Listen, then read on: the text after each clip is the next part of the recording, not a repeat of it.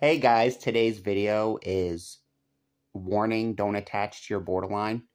Um, I I fell victim to this, guys. Um, I was I was friends, you know, boyfriend, girlfriend, friends um, with a borderline. She didn't like to call me her boyfriend, but she fucked me and stuff. Um, the problem is, good guys like me, we get attached to these fucking hoes, and they literally fucking rip our hearts out. Um, the problem with borderline personality is they don't have a secure attachment style. You know, they have a, I think they call it an insecure attachment style, where they they really more or less just think of people as objects to manipulate. Um, obviously, they want to have friendships. They want to love people. They want to be loved. Obviously, they're human, right? They're human. Um, borderline personality is actually a mental illness in the DSM um, DSM criteria. Um, some of the symptoms you're going to see is, you know, ghosting behavior is is really really something that borderline women do. They ghost their friends and family, sometimes weeks, months, years at a time. Um, the most recent episode with this girl that I loved, I had to ask her her she she was staying with me because she was homeless in her car and she she reached out to me in the winter. It was winter time. It was freezing cold. She was sleeping in her car I was like cooking dinner at the time. She hits me up and says, Steve, I need a place to stay. I let her come stay with me. Um, the three weeks she's staying there, guys, you know, I'm prone to attachment because I have a healthy attachment style. So when I have friends and, you know, romantic partners, I'm prone to attach to them. You know, I'm, I'm, I want to have people, solid people in my life, you know, and I'm, I'm one of those people that just doesn't easily give up on people. You know, if I give up on someone, they definitely deserved it. Um, if I'm abused and mistreated, I will give up on somebody for that. I'm not going to let people continue to mistreat me and abuse me. I'm just going to end the relationship. Um, you have to be willing to walk away from these girls. Um, narcissism and borderline share a lot of features like selfishness. Um, I think it's selfish to ghost somebody. Ghosting ghosting your partner is selfish because it's also kind of abusive. I mean, would you would you would you do that to you know anybody? You know, I guess I guess the answer is they would. Um, they don't attach. They're not attaching to you. So if so, if you're dating a borderline woman, um, even a borderline man, they're not attaching to you. They have an insecure attachment style. You know, basically, it means that they can't attach to you. So that's why the girl that I loved you know, she would so easily just break up with me. I wouldn't see her for fucking two years. Break up with me. I wouldn't see her for a fucking month. Then she'd come back a month later, come back two years later. Um, because she's not attaching to me, guys. She has no attachment to me.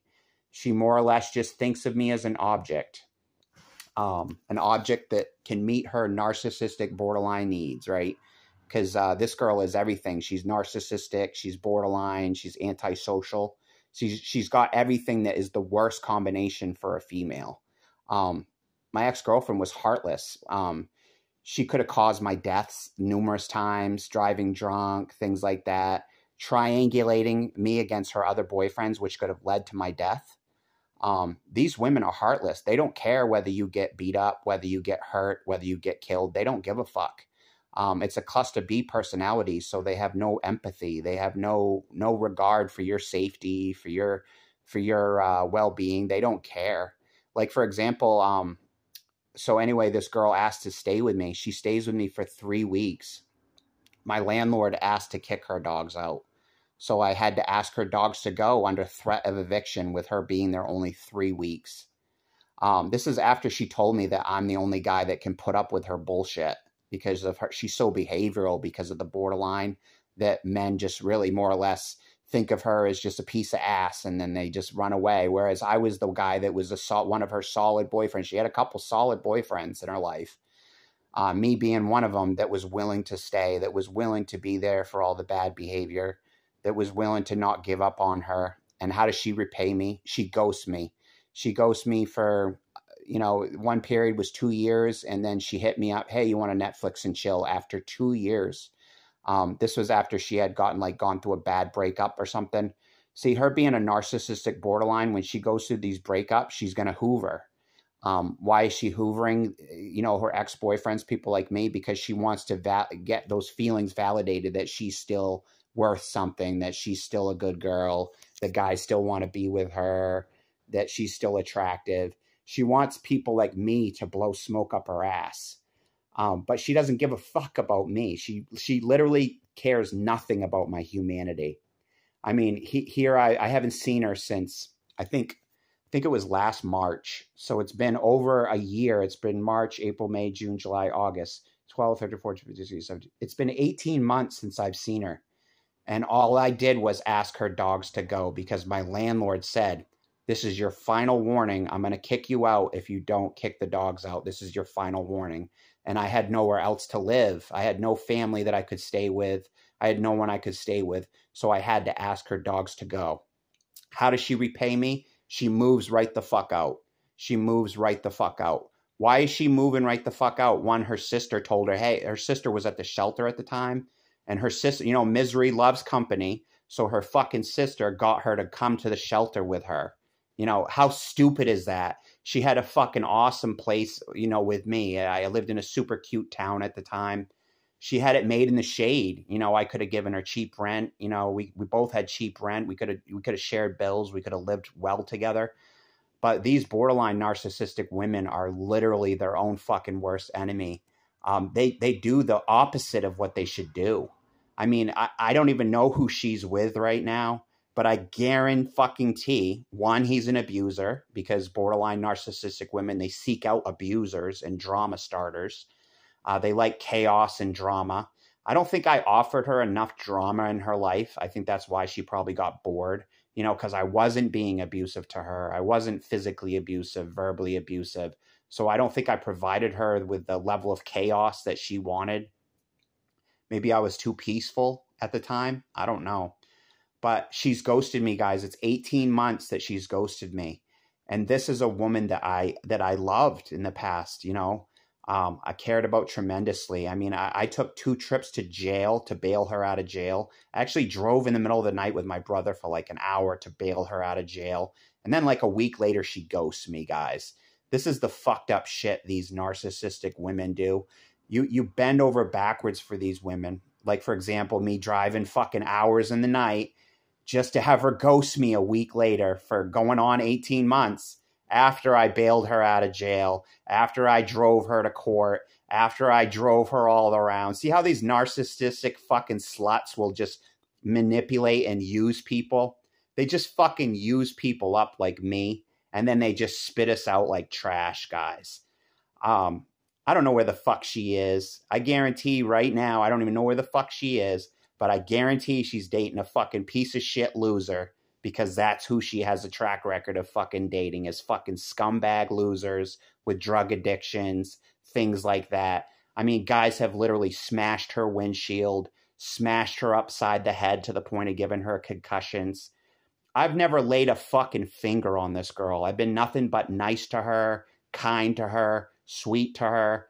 But what is a narcissistic woman going to do? She's going to trade my 41 year old ass and for a fucking 25 year old fucking piece of shit scumbag because maybe he has a fucking nice nicer body than I do or or maybe he has a nicer car than I do or a nicer cock than I do. Um, these are all things that that narcissistic women will do, narcissistic borderline women will do because they're not attaching to you guys. So if you're dating a borderline, warning, don't attach to them. They're not attaching to you they see you as an object. Yeah, they they want the illusion of love. They want the fantasy of love, the fantasy of connection, but they don't have the ability to to to connect to you, to mesh to you, to be to be, you know, your loving partner. They don't they don't have that ability. So uh the two times she hoovered me, one time it was 2 years I hadn't seen her. Um, literally had done nothing wrong just to get ghosted for two years. This is a girl I love, guys. Literally had my heart ripped out by this girl. Um, almost committed suicide. Um, this girl, the same girl, left me on Christmas Eve, ghosted me on Christmas Eve, moved out of my house on Christmas Eve. This is the cold, heartless shit that you're going to get from these fucking narcissistic, borderline cunts, guys. and again, it is a it is a mental illness, so you don't want to take it out on them per se because it is a mental illness. So no, I'm not going to, you know, lash out at her because she's mentally ill.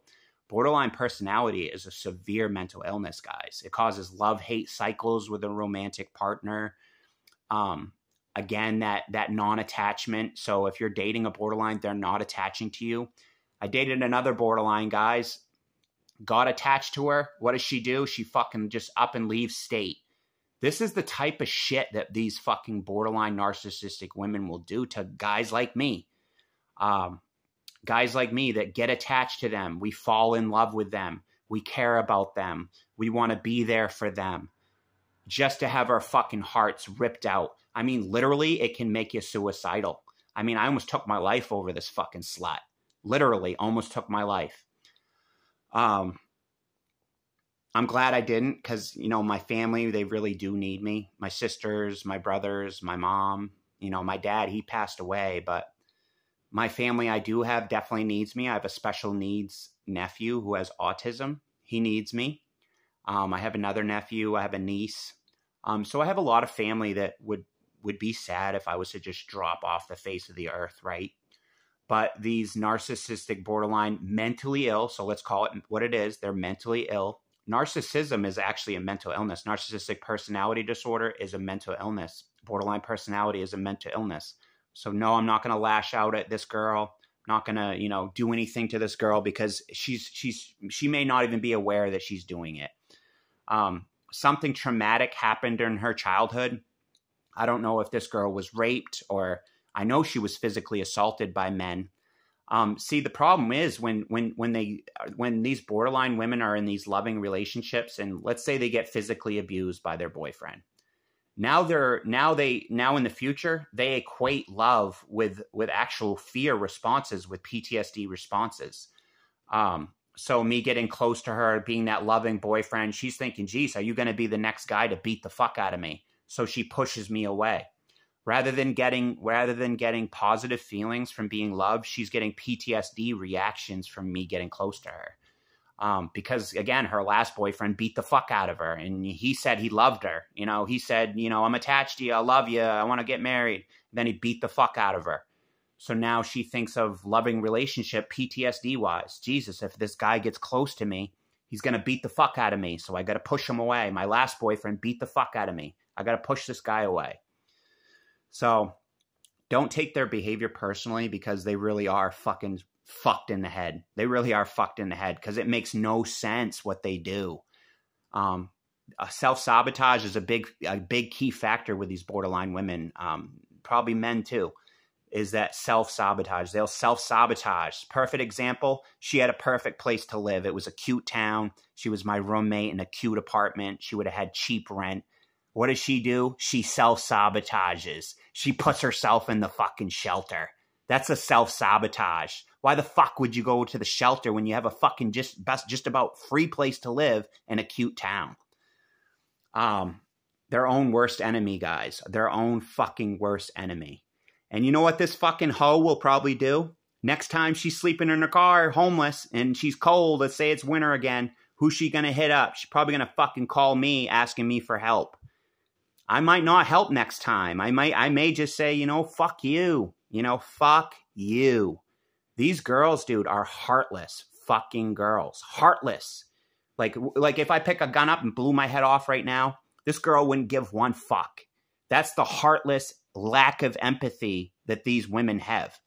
I actually um within the last couple months I was I was really upset. I hit, one day I hit up I think it was her sister or something like that mentioning I was having a bad day or something like that. How does a sister react? She just blocks me. This is this is how these fucking savage slut cunts, because that's what they are. They're fucking savage slut cunts. That's how they deal with conflict. They just block you, or they just ghost you, or they just don't talk about things. You, you won't hear from them for two years. That's how they solve problems. You know, I'm expecting to read in the paper any day that some guy's murdered this chick because she's so fucking heartless that I'm worried that one of these guys that she dates will just get upset and kill the bitch. Literally kill the bitch. I'm I'm thinking I'll read it in the paper any day now that this girl has caused some guy to go off the fucking deep end and he's fucking gone, you know, crazy, killed her or something. Because of her lack of empathy, she's so cold hearted, like leaving me on Christmas Eve.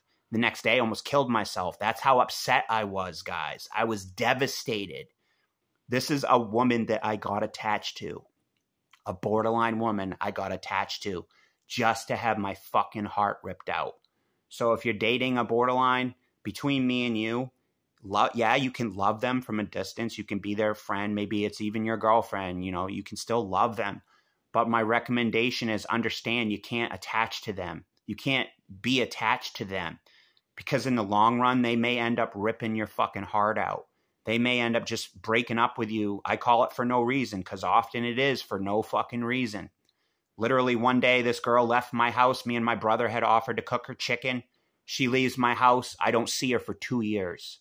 That's an example of I hadn't done anything wrong. Me and my brother, we offered to cook her chicken. She leaves my house. She couldn't even eat with us that night. She leaves my house, leaves my house and hadn't seen her for two years. And then she hits me up with a, you want to Netflix and chill and comes over and fucks me just to make herself feel better. And then ends up ghosting me again. Do you see how fucking crazy this is for guys like me? We get attached to these fucking hoes just to have our fucking hearts ripped out.